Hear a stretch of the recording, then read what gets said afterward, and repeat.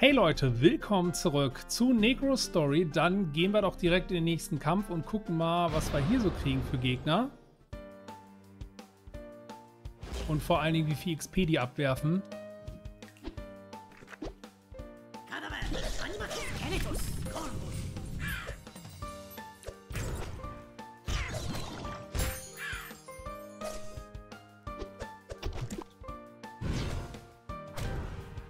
Und dann brauchen wir jetzt noch zwei Siegel.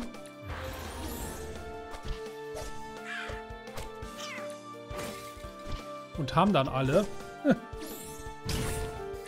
Mal gucken, was da noch so kommt.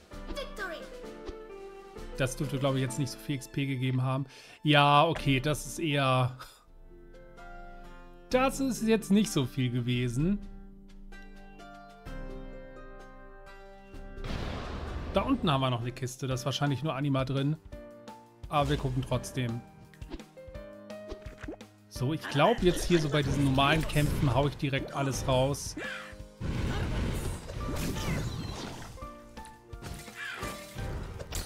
Solange wir noch ganz gut Mana haben, dürfte das ja auch kein Problem sein.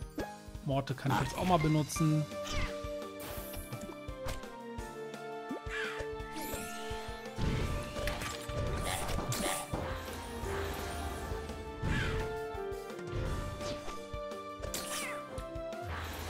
Ja, das sieht doch ganz gut aus. Also so ein, zwei physische Angriffe pro Kampf.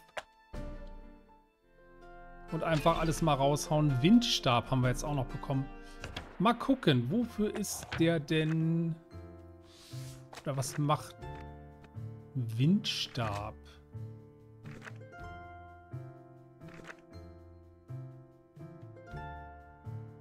Ja, das ist Mana-Stab ist halt überhaupt keine Option.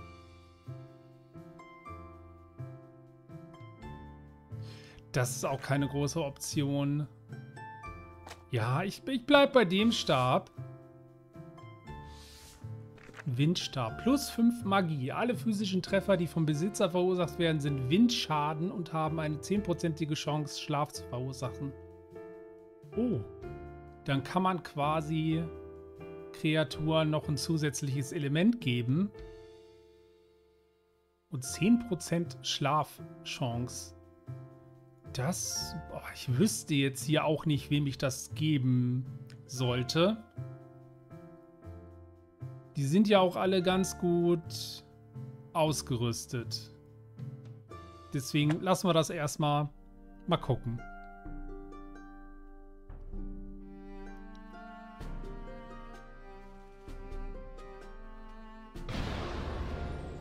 Ich hätte halt schon gerne eine Karte. Das wäre halt schon nett. Aber die haben wir leider nicht.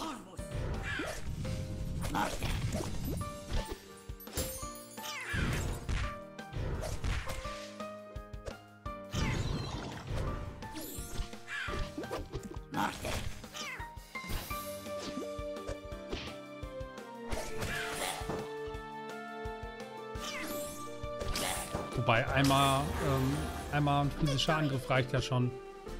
Da kann ich noch zweimal Morte benutzen, dann haben wir immer noch so 60, 70 Prozent Mana am Ende. Das dürfte dann erstmal reichen. Da oben möchte ich jetzt aber, glaube ich, noch nicht hin, sondern wir gucken einfach erstmal auf der Seite.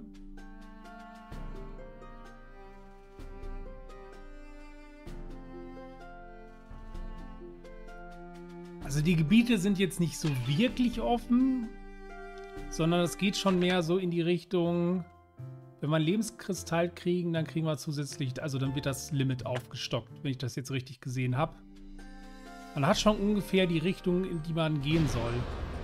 Obwohl das alles schon ein bisschen offener vom Gebiet her ist.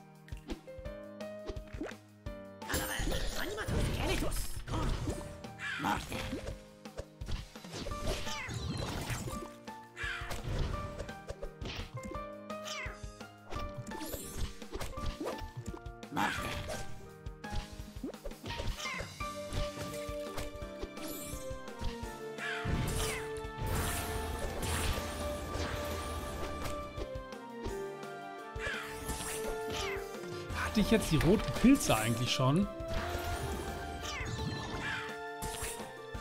Muss ich gleich erstmal gucken. Bin ich mir gerade nicht sicher. Neuen Zauber erlernt. Temporus. Was kannst du denn? Am Ende eines Timers von 5 Sekunden werden neun Lebensfragmente von dem feindlichen Ziel extrahiert. Jedes Lebensfragment verursacht 1,0 plus 5% Magieschaden. Du regenerierst 100% dieses Schadens. Interessant. Könnte ich vielleicht nehmen, um den Feuerzauber auszutauschen, aber erstmal lassen wir das sein. Und nee, den roten Pilz hatten wir noch nicht. Aber ist das denn... Du bist halt auch ein Heiler. Aber es ist ein anderes Element. Du hast Giftball. Und, und, und, und, ähm...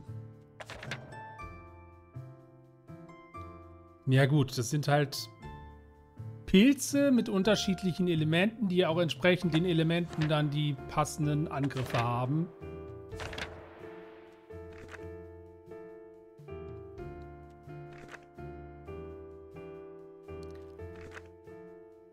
Ich, ich tausche das jetzt einfach mal aus hier. Temporus. Nehmen wir mit. Ja, manuell. Auf jeden Fall manuell. So. Gut, also, ja, Mana-Regeneration jetzt mit den physischen Angriffen ist ganz okay. Dann würde ich jetzt erstmal nur auf Magie gehen. Damit die Beschwörungen stärker werden.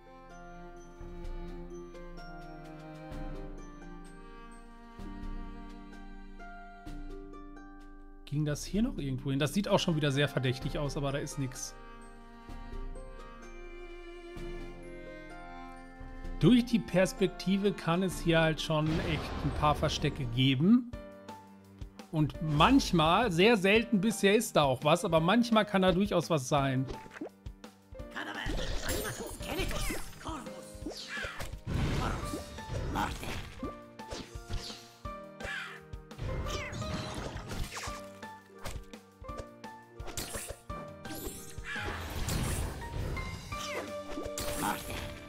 Hätte jetzt auch nicht sein müssen. Aber ist ja auch nicht so das Problem. Passt ja alles.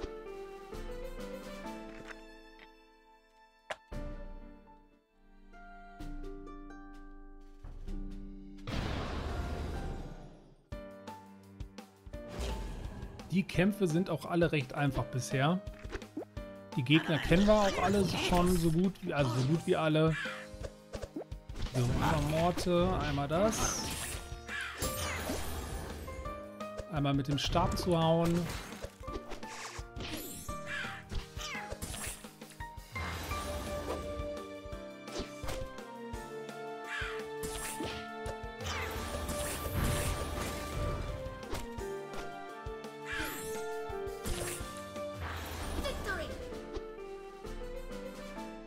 Das gefällt mir auf jeden Fall schon besser. Das gab jetzt halt so gut wie gar keine XP. Das Kampftempo war auf jeden Fall schon recht gut. Nur das Problem ist, dann sind die halt so schwach, dass wir nicht so viel XP kriegen. Oder fast gar keine XP.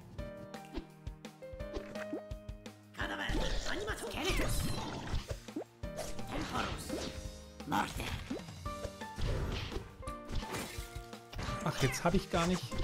Ich klicke manchmal auf den Raben und dann macht er das irgendwie nicht.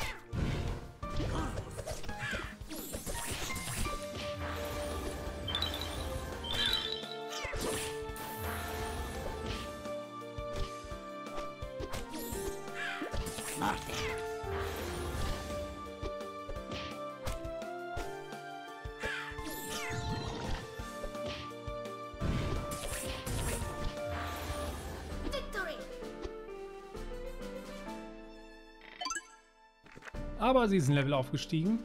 Okay, die zwei sind schon Level 12. Die anderen gehen auch Richtung 12. Läuft alles in die richtige Richtung. Wir haben jetzt hier auch nicht so große Pro äh, Probleme mit den Kämpfen. Bin ich erstmal ganz mit zufrieden. So, Corvus. Jetzt hat es aber direkt funktioniert. Okay, Morte einmal. Dann einmal so angreifen. Kann gleich auch noch mal gucken, ob wir irgendwo schon wieder... Also skillen können wir auf jeden Fall was. Die Frage ist nur, ob wir das jetzt schon wollen.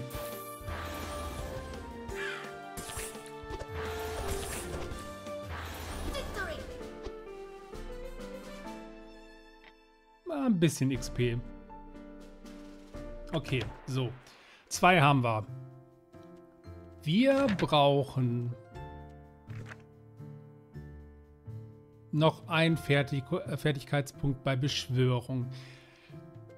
Es ist ein bisschen blöd, dass ich nicht weiß, was das hier genau macht, aber das waren ja alles Angriffe. Von daher würde ich sagen, das ist dann auch nochmal ein Angriff. Jetzt können wir halt sagen, okay, wir suchen uns jetzt hier bei den Beschwörungen nochmal irgendwo einen Skill aus, der nur das hier zum Beispiel einen Punkt braucht. Dann können wir jetzt auch das nehmen. Skelette können den dreifachen Hieb ausführen.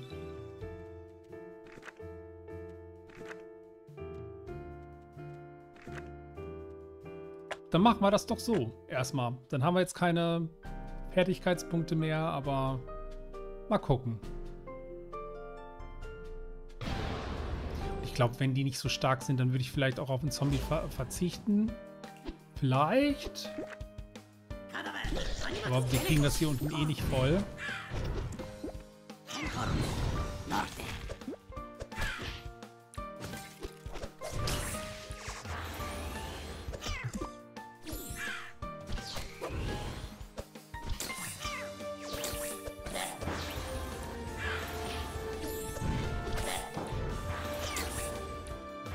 Und jetzt wäre bei den Skeletten natürlich gut, auch auf mehr Stärke zu gehen. So, da ist eine Hütte, da können wir wahrscheinlich wieder was kaufen. Ja, Halskette der Magie. Minus 15 Magie, gibt allen anderen Verbündeten plus 3 Magie. Das wäre halt für so einen Nahkämpfer, glaube ich, eine nette Sache. Krieger-Edelstein. Puh, das ist aber auch schon wieder alles sowas, wo ich nicht weiß. Wenn verwandelt, wird der von James verursachte Schaden um 10% erhöht. Hm, Lebenskristall. Ich würde einfach noch einen Lebenskristall kaufen. Und diese anderen Sachen würde ich mir jetzt erstmal schenken. Dann haben wir jetzt nämlich schon sechs davon. Das heißt, wir können dann auch sechsmal 50 Anima nehmen für Heilung. Wenn wir die mal brauchen. Aber eigentlich, bisher war das jetzt noch nicht so der Fall. Deswegen, aber die anderen Sachen fand ich jetzt nicht so interessant. Wir haben halt auch schon eine Menge Zeug. Grüne hatten wir auch noch nicht. Also es gibt scheinbar durchaus ein paar, die halt einfach nur andere Farben haben. Die haben wahrscheinlich Gift. Die sind wahrscheinlich giftig, die grünen.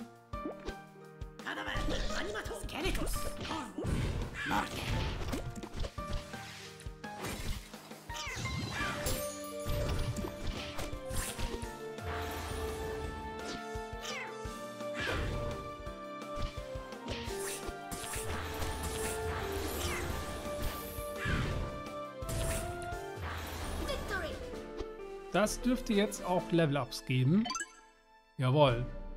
Kriegen sonst nichts weiter. Du kriegst, mal gucken, Stärke von 17 auf 19, du Stärke von 14 auf 16 und du kriegst hier Geschwindigkeit. Also Sarz ist halt auch eher so ein bisschen Richtung Geschwindigkeit mit Magie.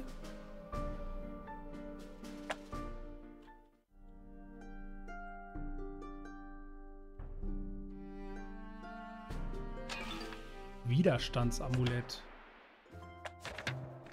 Gut, aber so langsam gegen abnormale Zustände. Die sind halt eigentlich alle so weit ausgerüstet. Ich müsste halt also mit diesen bestimmten Widerstandsarten, also diesen Plus auf Widerstandsarten, müsste ich halt wissen, was in dem Gebiet wirklich so an Schadensarten rumkommt. Dann könnte ich die vielleicht ein bisschen besser einsetzen.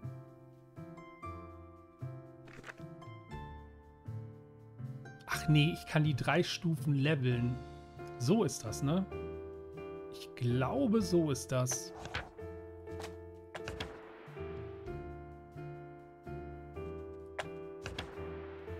Und mit jedem Level kriegen die dann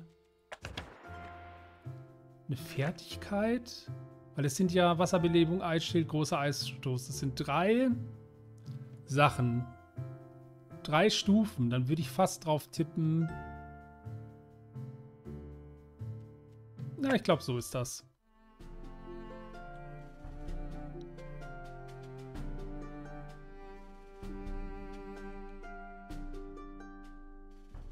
Ist jetzt schwer zu sagen, aber ich würde, ja, ich glaube generell ist es sehr oft einfach die Mitte hoch, kommt man direkt zum Boss des jeweiligen Gebietes. Links und rechts gibt es dann vielleicht nochmal einen anderen Elite-Gegner und eventuell eine Kiste auf der einen oder anderen Seite.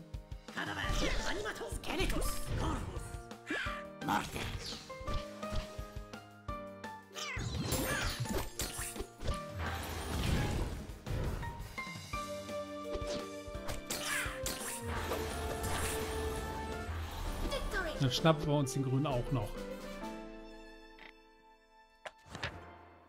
Ich bin nach wie vor, ich sammle die halt alle gerne, aber ich bin schon ganz gut damit zufrieden, was wir hier haben. Okay, du machst Windschaden.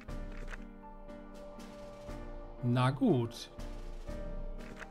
Aufgeladener Angriff. HP über Zeit. So eine Mischung aus Magier und Heider, so ein bisschen die Richtung. Aber ich finde das Team eigentlich ganz okay. Wir haben hier so einen Tank neben uns und Vivi haben wir dann hier noch so einen Nahkämpfer, so einen Kämpfer, einen Zauberer, Zauberklinge. Okay, Magier ist dann nochmal was anderes. Und Saats. Okay, ach, deswegen hast du auch so viel Stärke. Gut. Vom Schaden her machst du auch am meisten. Ich will jetzt noch mal ganz kurz bei dir hier schauen, weil diese ganzen normalen Angriffe habe ich ja auch rausgepackt. Ich würde vielleicht noch mal Durchschlag hier auf normal packen. Aber ob das jetzt eine gute Idee ist... Wir gehen erstmal auf die Seite. Da können wir direkt auch schon wieder speichern. Da haben wir einen Teleporter. Okay, oder ich gehe dann erstmal auf die andere Seite, weil wir müssen mal gucken.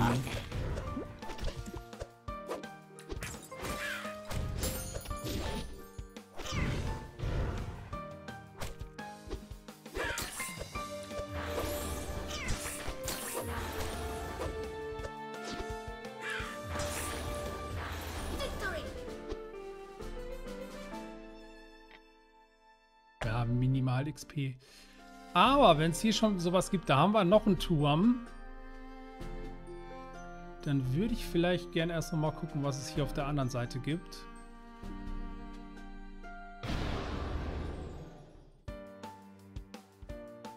Und die können wir hier ja auch alle relativ schnell erledigen.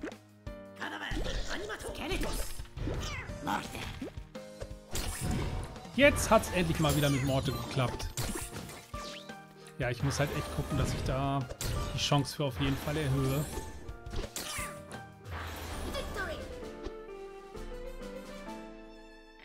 Das ist schon ziemlich cool, aber hat auch einen gewissen Cooldown und 10% sind jetzt nicht nichts, aber auch nicht wirklich viel. Da haben wir auch noch so einen Speicher, so einen Teleporter. Okay. Corvus hat er wieder nicht genommen.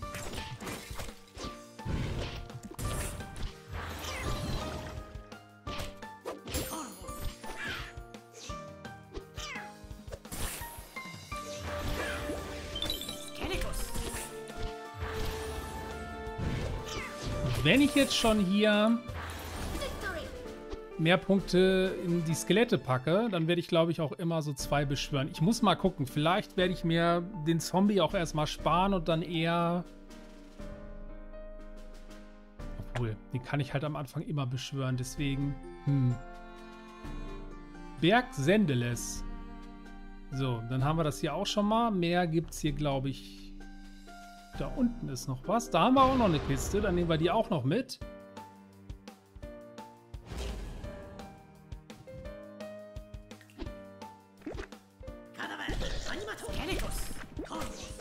Da drauf geklickt. Ich habe da jetzt ganz genau drauf geachtet. Aber wollte da nicht haben. Ich bin zu schnell.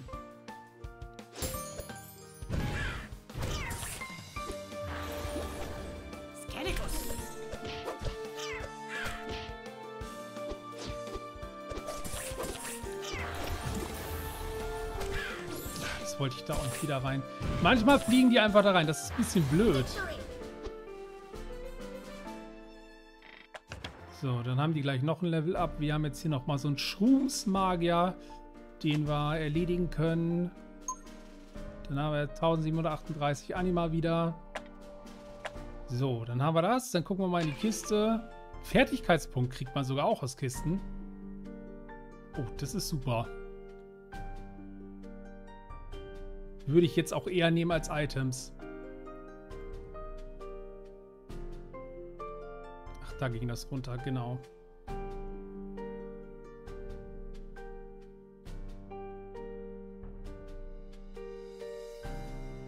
So, dann können wir hier nochmal auftanken. Dann gehen wir nächstes Mal in den Turm. Ich hoffe, ihr hattet ein bisschen Spaß. Das war es erstmal wieder von mir und bis bald.